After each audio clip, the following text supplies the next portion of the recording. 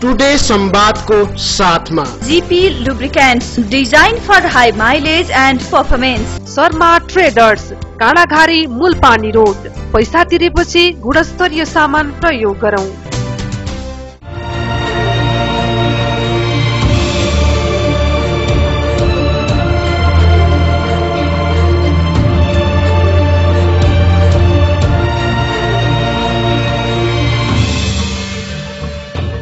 दर्शकवृन्द नमस्कार। कार्यक्रम टुडे संवादको आजको श्रृङ्खलामा यहाँहरूलाई स्वागत गर्न चाहन्छु। म संज्ञा अधिकारी। विशेष गरी विकास निर्माणको कार्यहरूमा प्रयोग गरिने उपकरण यो हेभी इक्विपमेन्टको क्षेत्रमा कार्यरत एकजना व्यक्तित्वलाई आजको टुडे संवादमा हामीले अतिथिको रूपमा उपस्थित गराएका छौं। उहाँ हुनुहुन्छ नेपाल हेभी इक्विपमेन्ट व्यवसायी संघका अध्यक्ष र नेपाल निर्माण व्यवसायी महासंघका वस्तुगत तर्फबाट केन्द्रीय सदस्य हुनुहुन्छ तारा बहादुर कुँवर। यहाँलाई स्वागत छ हाम्रो कार्यक्रममा। धन्यवाद। विशेष त अब यो नेपाल हेभी इक्विपमेन्ट व्यवसायी संघको अध्यक्ष हुनुहुन्छ यहाँ। अहिले वर्तमान अवस्थाबाटै हाम्रो संवादको कार्यक्रम सुरु गरौं। के छ यो व्यवसायको वर्तमान स्थिति कस्तो छ? अहिले यो व्यवसाय भन्नु पर्दाखेरि अ, नेपालमा विकास निर्माणको लागि ल्याएका यी हेभी इक्विपमेन्टहरू करोडौँ करोड मूल्य पर्ने उपकरणहरू अहिले खिया लागेर अहिले चाहिँ नि कुनै पनि मेसिनहरू जङ्गलको जङ्गलमै खेतको खेतमै बाटोको बाटोमै जताततै अलपत्र अवस्थामा छन् र भएका उपकरणहरूको एकदम चाहिँ बिजोग अहिले चाहिँ कुनै त्यो सुरक्षा छैन कुनै किसिमको चाहिँ ऊ त्यो इन्जिन स्टार्ट नभएको आज महिनौ महिना भइसक्यो। अब मेसिनै काम नलाग्ने हो कि भन्ने पिर परिसक्यो र सारा व्यवसायीहरू एकदम चाहिँ नि यो जिरोमा पुग्ने अवस्था रह्यो एकदमै भयावह र कहाली लाग्दो अवस्थामा हाम्रो हेभी व्यवसायिक क्षेत्र र निर्माण व्यवसायिक क्षेत्र त्यहाँ भनेपछि। अहिले देशको यो वर्तमान अब अघोषित भनौँ कि घोषित भनौँ यो नाकाबन्दीको प्रभावले चाहिँ बढी मर्कामा परेको छ यो व्यवसाय भन्नै बाटोतिर। थन्किएको भन्ने कुराहरू यहाँले गर्नुभयो नि। त्यही कारणले नै हो यो भन्नै पर्दाखेरि भन्न त हरेक क्षेत्रमा एकदम चाहिँ सबैलाई चाहिँ यसको मार परेको छ नाकाबन्दीको हरेकलाई परेको छ। प्रत्येक आम नागरिकदेखि लिएर। व्यवसाय उद्योग कल कारखाना सबै क्षेत्रमा परेकै छ। सबै क्षेत्रमा परेको छ। तथापि यहाँहरूको व्यवसायको क्षेत्रमा चाहिँ कुरा गर्दा चाहिँ अब लगानी नै डुब्ने अथवा एकदमै धेरै बन्दै गर्नुपर्ने अवस्था आएको भनेर व्यवसायहरूको यहाँहरूको व्यवसायहरूको गुनासो सुनिन्छ नि। बन्दै गर्नुपर्ने स्थिति आएको हो त? यो हाम्रो खासै भन्नु पर्दाखेरि सारा क्षेत्रमा त्यो प्रभाव परे तापनि हेभी इक्विपमेन्टको क्षेत्रमा एकदमै सबैभन्दा बढी प्रभाव नै हेभी इक्विपमेन्टको क्षेत्रमा परेको छ। हेभी इक्विपमेन्टलाई चाहिँ अरूलाई जस्तो बिस लिटर डिजेल दिनुहोस् न भनेर मागेर हेभी इक्विपमेन्ट चल्नेवाला छैन। एक दिनमा एक घन्टा स्टार्ट गरेर राख्न मात्रै पर्यो भने पनि बिस लिटर डिजेलको आवश्यक पर्छ। र यो चाहिँ त्यो चलाउनको लागि हरेक एक घन्टामा दसदेखि पच्चिस लिटरसम्म डिजेल खान्छन् यो हाम्रो देशमा भएका हेभी इक्विपमेन्टहरूले अब यो अहिले यस्तो विकट यस्तो चाहिँ नि विपदको घडीमा हेभी इक्विपमेन्ट चल्नको लागि डिजेल चाहियो र हामी चाहिँ नि काम गर्न पाउनुपर्छ भन्ने हामीहरूको पनि त्यस्तो चाहिँ नाजायज किसिमको हाम्रो माग छैन। तर चाहिँ हाम्रो यो हेभी इक्विपमेन्टको क्षेत्रलाई चाहिँ अब एकदम यो डि डिजेल अब विभिन्न कारणले हामीहरू तस नस भएका छौँ र यो यसलाई चाहिँ अब राज्यले केही सम्बोधन गर्छ कि भन्ने हामी आशमा छौँ। जस्तो नयाँ भित्रिएका यो हेभी इक्विपमेन्टहरू भन्सारमा थन्किएका छन् भने अन्य चलिरहेको यथावत रूपमा चलिरहेको सामग्रीहरू पनि जिल्ला जिल्लामै थन्किएको स्थिति छ। अब जो ज जसले नयाँ नयाँ मगाएको थियो नयाँ मगाएको सबै बोर्डर पारी छन् अब त्यसको पनि चाहिँ हरेक दिनको चाहिँ त्यो त्यसको चार्ज तिर्नुपर्छ। त्यहाँको विलम्ब शुल्क त्यहाँको त्यो गाडीमा बोकेर ल्याएको हुन्छ। त्यो गाडीको चाहिँ चार्ज तिर्नुपर्छ। त्यो तिर्दा तिर्दै लाखौँ लाख उडिसकेको छन् भनेदेखि ज जसको चाहिँ जस्तो हाम्रो इक्विपमेन्टहरू चाहिँ सहरभित्र बस्ने होइनन् विभिन्न चाहिँ दुर्गम डाँडा काँडाहरूमा हुन्छन् भनेदेखि विभिन्न खोला नालाहरूमा पुल बनाउने ठाउँमा हाइड्रो बनाउने ठाउँमा विकट विकट ठाउँमा हाम्रो इक्विपमेन्ट हुन्छ। त्यो ठाउँमा चाहिँ अब त्यो डिजेल सिद्धिसकेपछि त्यहाँ चाहिँ इन्धन सिद्धिसकेपछि अब त्यसलाई अन्त ल्याउने कुरो आउँदैन सुरक्षित ठाउँमा हुँदैन। त्यहाँ मान्छेहरू हुँदैनन् घर हुँदैन कुनै सुरक्षा हुँदैन। त्यस्तो ठाउँमा चाहिँ हाम्रा साधनहरू चाहिँ भगवान भरोसा भनेर हामी पशुपतिनाथ पुकारेर विश्वकर्म बाबा पुकारेर चाहिँ हाम्रो सुरक्षा होस् भनेर बस्नुपर्ने अवस्था छ। त्यसले पैसा कमाउने त परै जाओस्। यो हाम्रो चाहिँ नि सम्पत्तिको सुरक्षा कसरी हुने र त्यो साधनलाई कसरी बचाउने भन्ने चिन्तामै हामी व्यवसायीहरू सबै चाहिँ अल्मलिएका एक त विकास निर्माणको क्षेत्रमै ती उपकरणहरू लागिरहेछन् त्यो निर्माणको काम पनि ठप्प भयो भने अर्कोतर्फ यो उपकरणहरू पनि त्यत्तिकै थन्किरह्यो असुरक्षित भयो। यो अवस्थामा हेभी इक्विपमेन्ट को यो व्यवसायको क्षेत्रमा लागेका व्यवसायीहरू समग्रको प्रतिनिधित्व गर्दै यहाँ अध्यक्ष हुनुहुन्छ। सरकारसँग के अपेक्षा राख्नु भएको छ यो स्थितिमा? यो अहिलेको स्थितिमा भनेको यो चाहिँ हामीले सरकारसँग अपेक्षा राखेको भनेको चाहिँ अहिले देशमा यस्तो विकराल परिस्थितिमा हामीले चाहिँ राज्यसँग कुनै किसिमको चाहिँ न नाजायज मागहरू हामी राख्न चाहँदैनौँ। र हामीले राज्यको सारा कुराहरू बुझेका छौँ राज्यको हामी चाहिँ एउटा सहयोगी हौँ। अवस्था हो। तर हामीले के राख्छौँ भने यो सबै निर्माण क्षेत्रमा जति पनि तहस नहस भइरहेछ यो इन्धनको कारणले निर्माण व्यवसायीहरू एकदमै मारमा परेका छन्। अनि अर्को कुरो हाम्रो हेभी इक्विपमेन्ट व्यवसायीहरू चाहिँ पुरै चाहिँ ब्याङ्क लोनमा लिएको हुन्छ ब्याङ्क ऋणमा लिएको हुन्छ ब्याङ्कको किस्ताहरू तिर्न सक्ने स्थिति हुँदैन। दस बिस हजार भएको एक डेढ लाख रुपियाँ भएको बुढीको गहना बेचेर तिरौँ यसो कसैसँग सापट मागौँ ऋण मागौँ भन्नु त्यो सम्भव छैन। करोडौँको कुरा छ। अब महिनामा एउटा मेसिनको दुई लाख रुपियाँ एक लाख पचास हजार रुपियाँ किस्ता हुन्छ। अब त्यस्तो पैसाहरू चाहिँ हामीले काम नगरिकन तिर्न सक्ने अवस्था हुँदैन। र ब्याङ्कहरूले आफ्नो उनीहरूको चाहिँ पहिला हामीले ज- जति एग्रिमेन्ट गरेका छौँ जति सही गरेका छौँ त्यो अनुसारको किस्ता त तिर्नु पर्यो। किस्ता तिर्ने क्रममा अब अहिले देशको स्थिति यस्तो छ भने उहाँहरूलाई पनि थाहा छ तर चाहिँ त्यो जनताको पैसा चाहिँ त्यो ब्याङ्कमा हुन्छ। अनि जनतालाई के अरे चाहिँ ब्याज दिन परेपछि डिपोजिटरलाई ब्याज दिनु पर्ने भएपछि तपाईँहरूसँग किन नलिने भन्ने उहाँहरूको नि कुरा स्वाभाविकै हो। अब हरेक क्षेत्र देशै तर्स भएको बेलामा उहाँहरूलाई पनि नाफा किन दिनु पर्यो? केही अहिले त केही व्यवसायलाई राहत त दिनु पर्यो नि। भनेपछि ब्याङ्कको जुन ब्याज दरको कुरा छ नि त्यसमा केही समन्वय होस् भन्ने चाहना अँ, छ। ब्याज अलिकति घट्न पर्यो अहिले परिस्थिति अनुसार। अनिखेरि जस्तो उनीहरूले दुई पर्सेन्ट तिन पर्सेन्ट ब्याजमा चाहिँ डिपोजिट लिने। अनिखेरि अहिले हामीलाई दस पर्सेन्ट बाह्र पर्सेन्ट लिने। अनि यस्तो विपदको घडीमा त केही व्यवसायले पनि त राहत दिनु पर्यो। उनीहरूको पनि एउटा त्यो कर्तव्यको कुरा हुन आउँछ।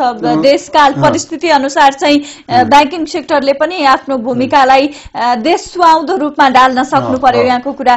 व्यवसायीहरूको नियत खराब भएर हामीले ब्याङ्कलाई पैसा नतिरेको अथवा त्यो पैसा लगाएर अन्य क्षेत्रमा लगानी गरेको र ब्याङ्कलाई डुबाउँ भन्ने नियत राखेको भएदेखि उहाँहरूले जस्तोसुकै कडा कारवाही गर्न मिल्छ। तर अहिले भनेको त राज्य कसैको बसको कुरै भएन। यो सीमित चाहिँ नि यो राजनीतिक दलहरूको चाहिँ फाइदाको लागि सारा चाहिँ नि तिन करोड नेपालीहरूलाई चाहिँ बर्बाद पार्ने र देशै चाहिँ बन्धकमा राख्ने काम भएको छ। यसमा चाहिँ नि हाम्रो राज्यको जुन सञ्चालकहरूले किन गर्न सक्दैनन् कडा कारवाही यदि जायज मागो हो भने दिन पर्यो। जायज मागो होइन भने कारवाही गर्न सक्न पर्यो नि होइन? हाम्रा चाहिँ नि यो मागहरू हाम्रो देशका चाहिँ उच्च तहका चाहिँ नि निकायले सुनिदियोस् र हाम्रो समस्या समाधान गरिदियोस् र ब्याङ्कहरूले पनि यस्तो विपदको घडीमा हामीलाई चाहिँ राहत दियोस् र हाम्रो इक्विपमेन्टहरू जति पनि बोर्डर पारी बसेका छन् जुन क्लियरिङ एजेन्टहरूले जस्तो भारतमा चाहिँ कलकत्ताको क्लियरिङ एजेन्टले नेपालको क्लियरिङ एजेन्टहरूलाई उनीहरूको मनोमानी हिसाबले चाहिँ नि यहाँबाट पैसा असुलिरहेछ यहाँ अब के भने नेपाली जनताले तिरेका छन् त्यो आयातकर्ताले जति पनि तिर्छन्। अनि अहिले चाहिँ उहाँ हडताल गरेका छ फेरि। त्यो हाम्रो डोजरहरू चाहिँ त्यहाँ लोड गर्ने अथवा कन्टेनर के के लोड गर्ने ती लोड गर्न सकिरहेको अवस्था छैन। बोर्डर पारी छ कसरी पैसा तिर्ने? जो मेसिन ल्याएको मेसिनको साठी लाख चालिस लाख जाने मेसिन ल्याएछ चालिस लाख भन्दा बढी चाहिँ त्यहाँको चार्ज तिर्नु अँ, पर्छ चार्जै उठिसकेको कसरी तिर्न सक्ने? त्यस्तो त्यस्तो अवस्था गाली लाग्दो अवस्था छ। यो कुरा भनेपछि स्थिति त एकदमै नाजुक छ हामीले देखिरहेछौँ सबै व्यवसायको क्षेत्र चाहिँ धराशायी स्थितिमा छ। यसले त राष्ट्रको अर्थतन्त्रलाई नै। एउटा उन्नतितिर होइन कि अधोगतितिर उन्मुख गराइरहेको स्थितिमा।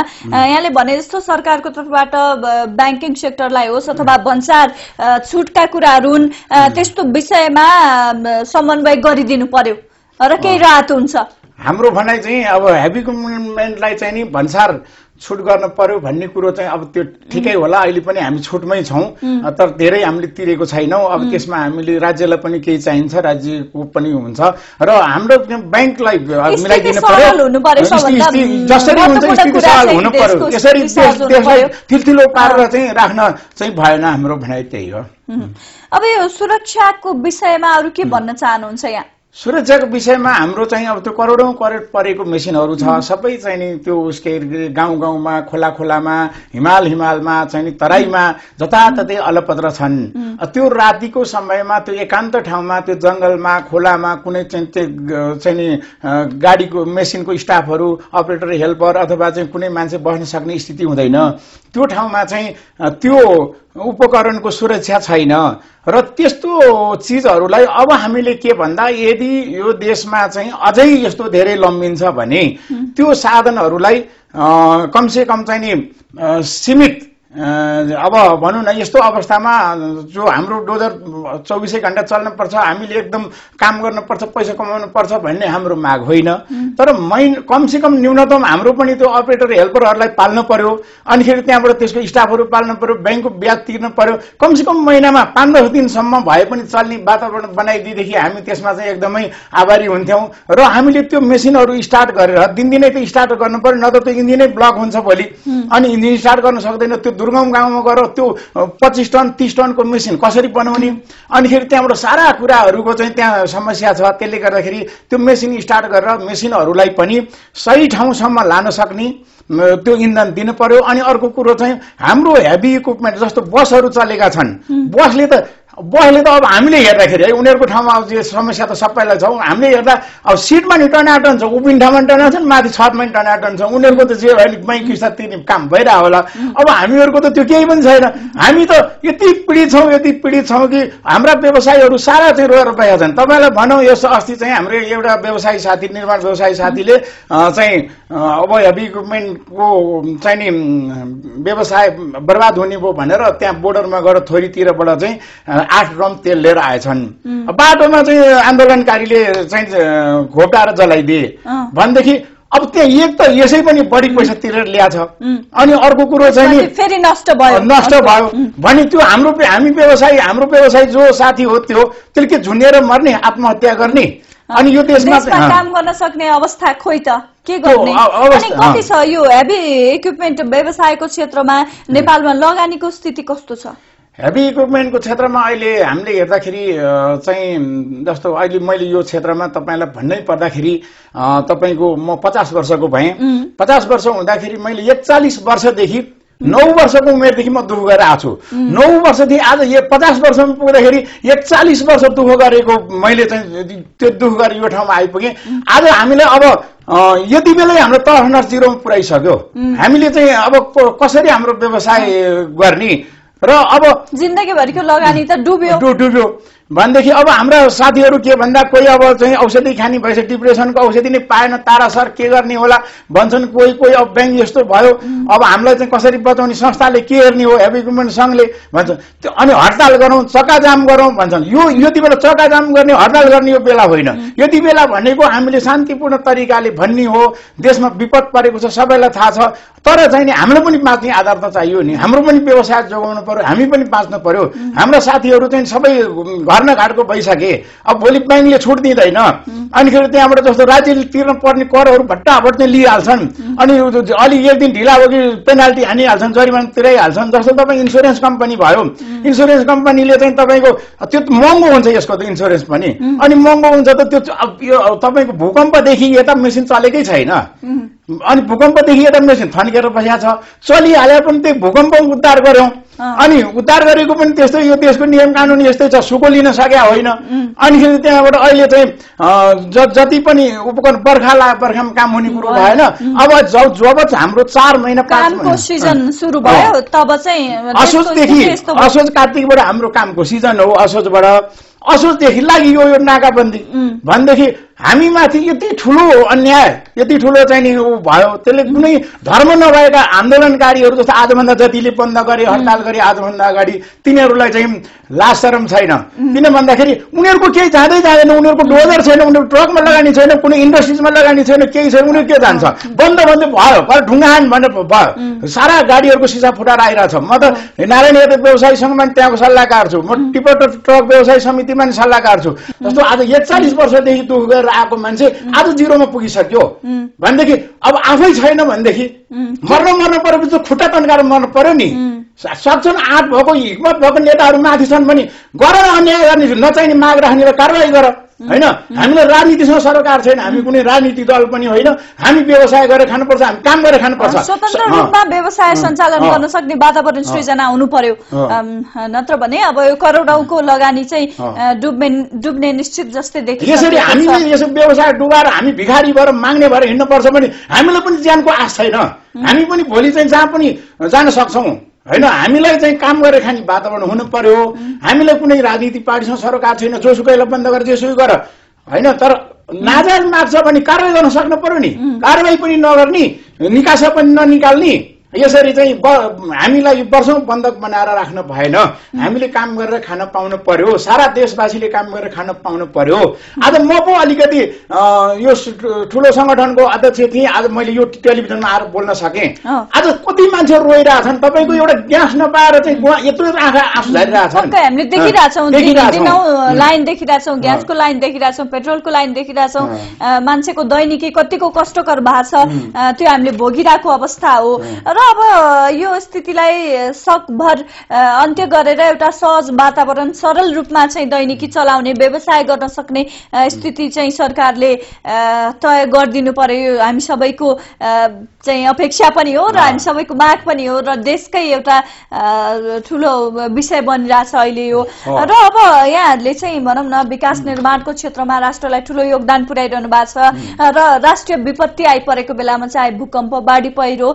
यस्ता राष्ट्रिय विपत्तिमा पनि यहाँहरूले आफ्नो भूमिकालाई राम्रो रूपमा प्रस्तुत गरिरहनु भएको छ। म अलिकति यो पछिल्लो पटक हाम्रो जुन विनाशकारी भूकम्पले निम्त्याएको पीडा थियो नि त्यसमा यो व्यवसायले यो व्यवसायमा संलग्न व्यवसायीहरूले कसरी आफूलाई प्रस्तुत गरे त?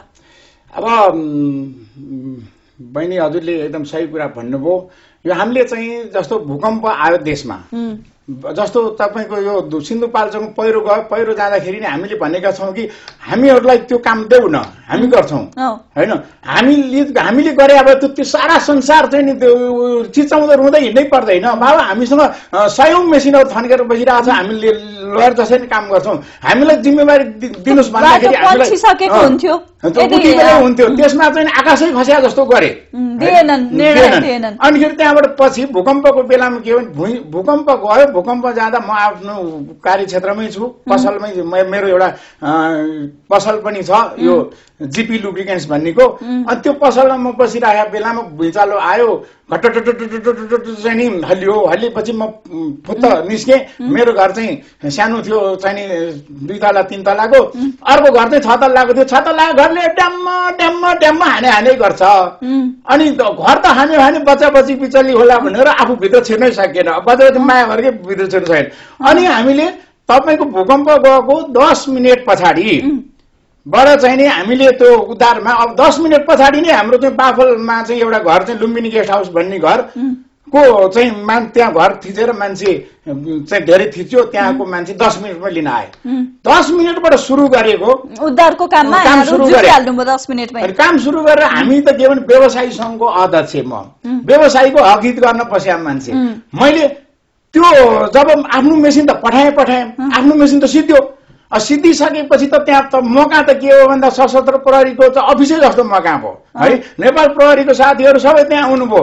मलाई चाहिँ त्यहाँ सशस्त्र प्रहरीको कोषराज सरले फोन गर्नुभयो। ल ताराजी अब यही हो देशलाई मौका गर्ने सहयोग गर्ने मौका भन्नुभयो। चाहिँ नि नेपाल प्रहरी विज्ञान राज शर्माले चाहिँ नि फोन गर्नुभयो ल ताराजी यो देशमा चाहिँ तपाईँहरूको खाँचो आयो।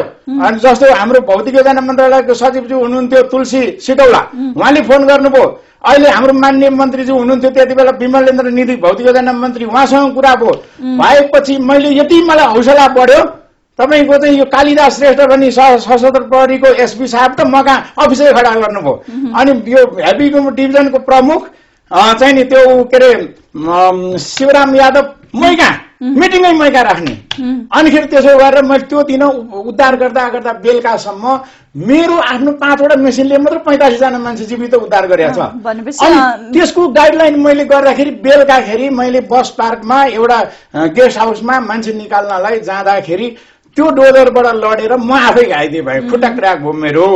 खुट्टा क्र्याक भइसकेपछि भोलिपल्टबाट मैले बैशाखी टेकेर गएर पनि तपाईँको पाँच दिनसम्म त मैले खुट्टा उपचारै गरिनँ। त्यतिकै। त्यत्तिकै हिँडेँ। अनि मन्त्रालयमा भाग पनि लिएँ ट्राफिक प्रहरीमा भाग पनि लिएँ सबै ठाउँमा लिएर मैले चाहिँ कहाँ कहाँ मेसिन छन्?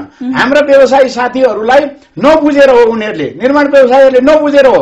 यति बेला चाहिँ देशलाई विपद परेको छ दुनियाँ मान्छे चाहिँ नि को बेहाल छ भनेदेखि यति बेला हामीले नगरे कसले गर्ने यो जिम्मा हाम्रो हो। भन्ने सोचले सारा संसार चाहिँ कहाँ कहाँ मेसिन छन् भनेर हामीले आफ्ना भाइ भारदारहरूलाई लाएर कहाँ कहाँ मेसिन लुकाएर राखेको छ कहाँ कहाँ अपरेटर नभएको ठाउँ अपरेटर देऊ। साँचो नहुनेलाई साँचो देऊ। गरेर चाहिँ नमान्नेहरूलाई पुलिस लाएर पनि चाहिँ मेसिन बैखान लयौँ कहाँ कहाँ लयौँ र त्यति बेला हामीले सुरक्षा निकायसँग संयन्त्र गरेर हामीले सारा चाहिँ नि मान्छेको सकेको गऱ्यौँ भनौँ न। हामीले सकेको गऱ्यौँ। जति गर्नुपर्ने थियो त्यो त गरेनौँ होला। तर सकेको हामी म सन्तुष्ट छु त्यति बेला हाम्रो टिमले हाम्रो नेपाल हेपी व्यवसायी सङ्घको पुरा टिम खटेका छौँ र हामी चाहिँ एकदम चाहिँ त्यस मानेमा मान्छेको ज्यान बचाउन सक्यौँ सकेको उद्धार गर्न सक्यौँ त्यसमा म खुसी छु। एउटा व्यवसायको तर्फबाट पनि भयो र व्यक्तिगत तर्फबाट पनि एउटा आत्मसन्तुष्टि मिलेको छ। अब अलिकति हामीले यो जिपी लुब्रिकेन्ट पनि यहाँहरूले भित्राउनु भएको छ नेपालमा। कस्तो किसिमको हो यो अनि के छ यसको बारेमा भनिदिनुहोस् न यसको विशेषता के छ? यो जिपी लुब्रिकेन्ट्स भने चाहिँ हाम्रो नेपालमा जति पनि यो हेभी इक्विपमेन्टहरू भनेको असाध्यै महँगो उपकरणहरू हो। यो महँगो उपकरण भनेको बिसौँ वर्ष चल्न पर्छ।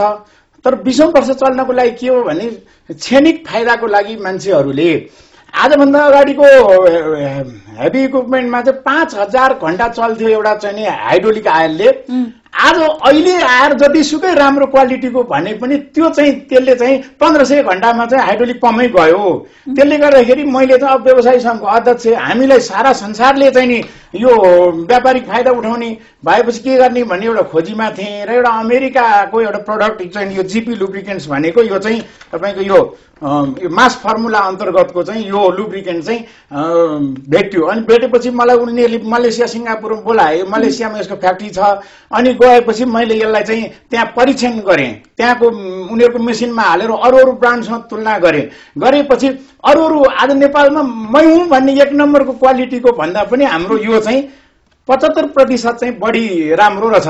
र अनि मैले त्यहाँबाट ल्याएर पहिलो लटमा चाहिँ दुई तिनवटा मेसिनमा परीक्षण गरेँ। गरेपछि हेभी इक्विपमेन्टमा मात्र प्रयोग हुने होइन हो? यो हेभी इक्विपमेन्टमा पनि भयो र अनिखेरि सबै मोटरसाइकललाई नि भयो कार। ट्रकहरूलाई नि भयो सबै किसिमको अँ, साधनलाई पुरा नेपाल हुने भयो। अधिराज्यहरूको लागि अनि मैले यसो सोचेँ यो राम्रो चिज नम्बरी सुनलाई खोल हाल्नु पर्दैन अब हामी विज्ञापन गर्न सक्दैन हामीसँग विज्ञापन गर्ने पैसा पनि छैन।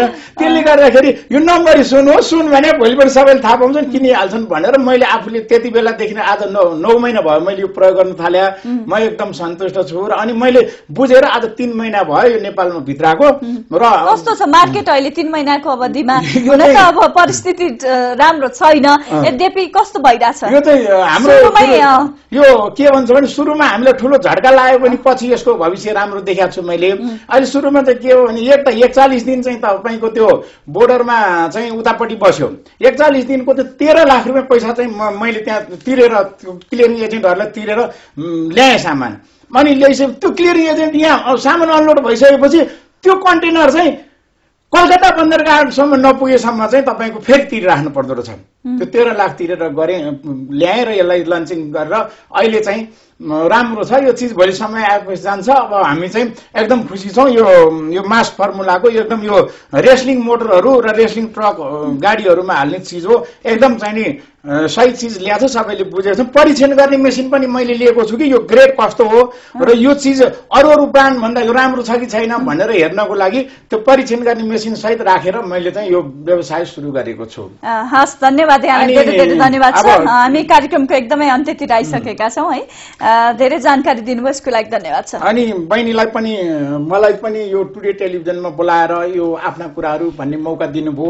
र भोलिको दिनमा पनि आज तपाईँलाई एउटा कुरा मैले भन्छु। अस्तिको दिन बेलुका नि भूकम्प गएको छ। भोलि पनि नजाला भन्न सकिन्न।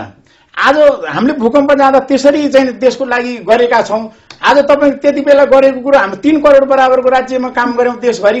अनि तपाईँको सत्र लाख पन्चानब्बे हजार रुपियाँ चाहिँ अपरेटरहरूको भत्ता र त्यो त्यति बेला हाम्रो मेसिनहरूमा त सुरुमा त पुरै डिजेल हामीले हाल्यौँ नि त्यो विपदको बेलामा कसैलाई डिजेल हाल यहाँ भत्ता देऊ भन्न मिलेन नि त्यो मेसिन पो हामीले सिधै काम गऱ्यौँ त। त्यो डिजेल हामीले सिधै दिन सक्दैनौँ त्यो अपरेटर सिधै दिन सक्दैनौँ। त्यसको पैसासम्म हामीले आसम पाएको छैन। राज्यको नियम कानुन यस्तो छ विपद परेको खण्डमा तपाईँको आज सात महिनासम्म छ महिना सात महिना भइसक्यो। कति तह धाए होला पचास तह धाए होला त्यो त्यो पैसा नि लिन सकेको छैन। त्यसलाई पर्दाखेरि हामी कहिल्यै पनि चाहिँ नि त्यो पछाडि लुक्ने काम गर्दैनौँ हामी अगाडि नै बढ्छौँ। हेबी व्यवसाय भनेर गर्व गरेर देशलाई माया गर्छौँ पक्कै पनि। यहाँहरूको यस्तै हौसला जारी रहोस्। धन्यवाद। धन्यवाद। ल बोल्न बोल्न दिनुभयो। यो यही टेलिभिजन मार्फत सबैलाई नमस्कार। दर्शकवृन्द कार्यक्रम टुडे संवादको निर्धारित समय सक्ने लागेको छ। आजको लागि कार्यक्रमबाट यहाँहरूमाझ हामी विदा हुन चाहन्छौ। नमस्कार।